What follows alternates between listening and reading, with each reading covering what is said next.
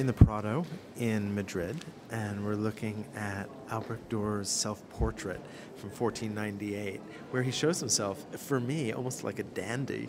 He painted this when he was 26, and that's what the inscription says below the window. You can see that he's proud of his looks and proud of his clothes, and mostly proud of how he could paint. It's so interesting because he is creating himself here.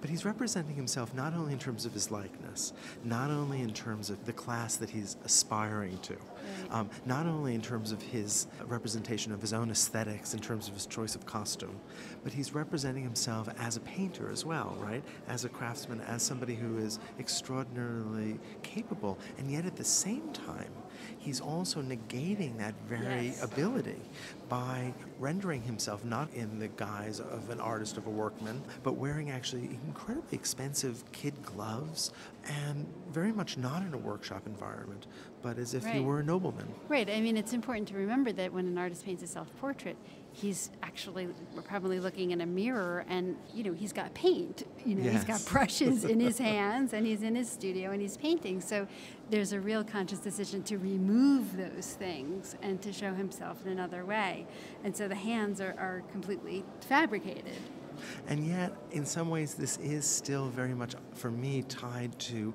his identity as an artist. I think he's not only representing himself, but he's representing his abilities in a sense, a kind of portfolio piece. Laying claim to art as something that is intellectual. Ah, see, that's the key. Yeah. Right?